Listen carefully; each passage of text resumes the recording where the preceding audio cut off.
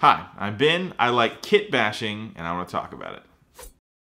Before we get into the video, about a week ago, if you're watching this on release day, uh, we launched the Battle Brothers uh, tabletop Discord server. And if you like Kill Team, you like talking about it, you might like the server. So if you want to check it out, the link will be in the description.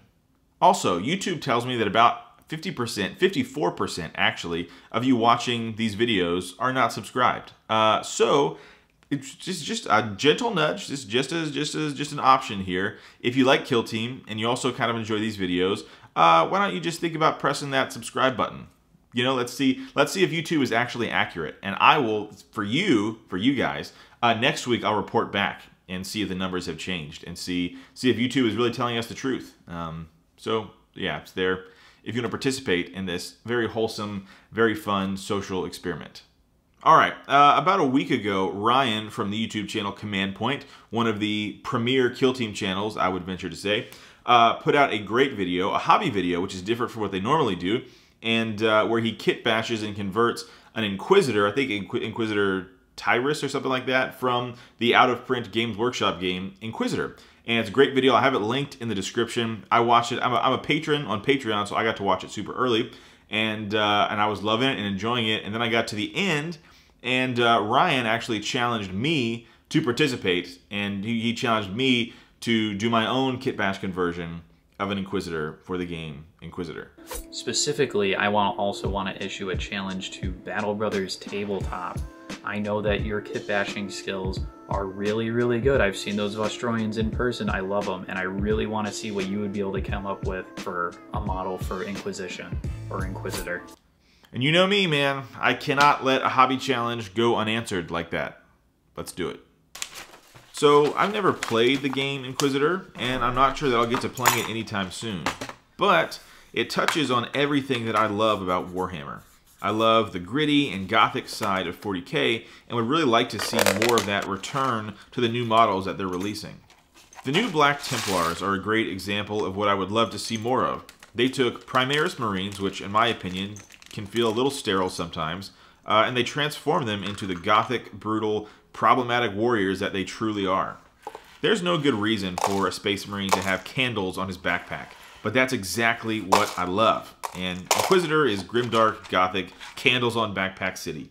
I love it.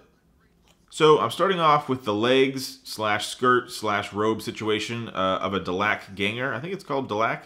Delaque? I don't know. Ganger from Necromunda. I know that I want some power armor in the mix here, and the Grey Knight Space Marine box is so poorly scaled that it actually works really well for human-sized power armor. I'm giving this Inquisitor a plasma pistol because, well, plasma pistols are awesome, and it's my favorite gun in all of 40k, uh, and this one is from the Battle Sister Squad box. I'm also thinking of giving this model a Power Fist because, again, Power Fists are awesome, uh, and it's my favorite melee weapon in 40k. Uh, the cool thing though is that Plasma Pistol and Power Fist is a legal loadout for, well, a few models in Kill Team, but specifically the Tempestor Prime. Uh, and I think I'll be using this model as my leader for my All Scions Kill Team. Before I go any further though, I'm going to start working on bulking out the robes a little and hiding the joint where the torso and legs meet. I start by cutting out a portion of green stuff, which by the way is not as intimidating as you might think, and just mixing it together thoroughly. Green stuff is super tacky and it will stick to your tools and your table and everything in your skin and everything in your life. So I recommend using some type of lubrication like petroleum jelly or I, I just have coconut oil laying around, so I use that. If you don't have either one of those things though, water will help. I tear off strips roughly sized to what I want and apply it to the model. With a silicone sculpting tool, I'm following the curves of the model, sculpting some folds and creases. I've never sculpted robes before, so this is a new thing for me. I follow this process all the way around until I'm happy with the profile. Now, I think this is pretty good, and I really like how it bulks out the model a little bit and balances out the power armor on top. Also, don't forget to drill your gun barrels. It's never too late to drill your gun barrels, even after you've painted. It's never too late. Thought I was recording, but I really wasn't. Uh, but I added a Firstborn Space Marine Power Fist, um, just with you know the plastic cement, because Power Fists are, like we talked about, awesome. I'll be using Mark III shoulder pads because they just feel very Inquisitor-y to me. Now you can't see it on camera because I'm just a pro at what I do, uh, but I'm chopping off the top of the shoulder pads and then filing them down to fit on the shoulders. After that, I sort of turn them upside down and then glue them in place. Uh, pretty happy with how this came out, and I like how the profile is different from a Space Marine. After this, it's just time for some details like purity seals and servo skulls. The purity seals are from the Sisters Repentia box, and the servo skull is from the Tempestus Scions box. Now, every hobby session needs a good podcast to keep you company, and this is a new Kill Team podcast called Once Upon a Kill Team. It's hosted by two cool dudes called Jason and Sean, uh, and I've been really loving it. They're both in the Battle Brothers Discord, and they frequent the Kill Team Narrative channel because uh, they are big narrative fans. And this podcast is about specifically narrative kill team, which is a niche that I feel like does not get talked about enough. So this is a great podcast. I super recommend that you give it a listen.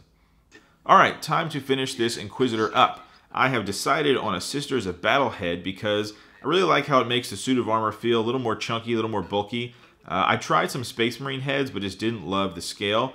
I think having a smaller neck and head sticking out makes it seem like this is really a human in a suit of power uh, armor and not just some Space Marine, you know, with a towel around his waist or something. Now I'm filling in the gaps under and around the shoulder pads with green stuff and I'm sculpting it into some quick fur. Uh, I find that fur is a really easy cheat code to fill gaps or cover a mistake, and it seems like something an Inquisitor might have draped on them for decoration. I'm pretty happy here, um, but I think she needs something to really sell the whole Inquisitor thing, so I'm going to give her a servo skull attached to her back.